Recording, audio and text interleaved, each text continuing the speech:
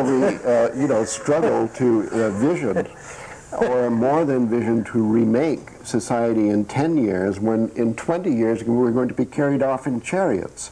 I, well, I'm not sure. Maybe, I mean, I'm not sure. Maybe no, I we think shouldn't. this whole idea of the eschaton might be one of those ideas working militantly most strongly against any social change. Let's just hang on to our flying carpets.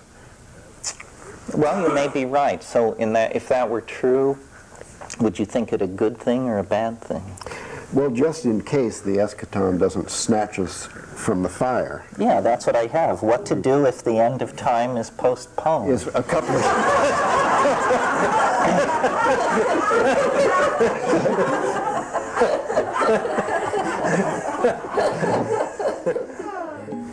Images. I think we need to think of a trigger, what you call a clarion call in your book.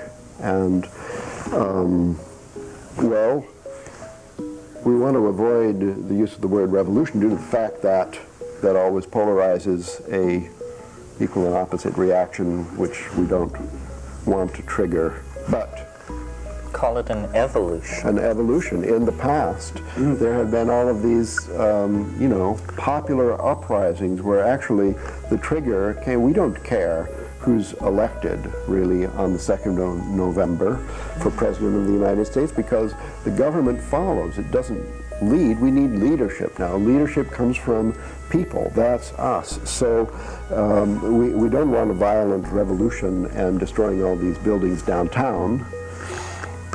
But somehow we would like to see within seven years a kind of a wake up where a certain number of people just woke up and said, that's enough of that.